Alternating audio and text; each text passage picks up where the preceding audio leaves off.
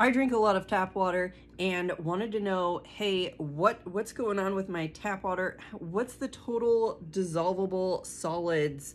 So this ClearLife tester is supposed to tell us what's going on. Let's test it out. You just turn it on, dunk it in there, 325. That is awful. Okay. So what does total dissolvable solids mean?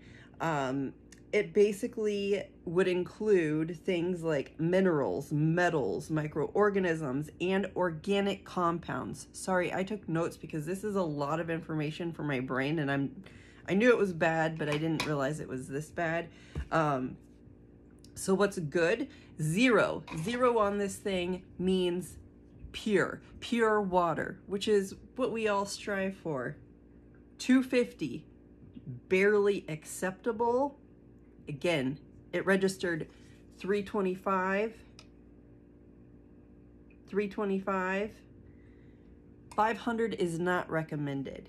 So we are really not acceptable levels with our tap water here in Iowa. If you're curious whether or not your tap water is safe to drink, definitely check out this product by ClearLife. I'm to leave the link down below.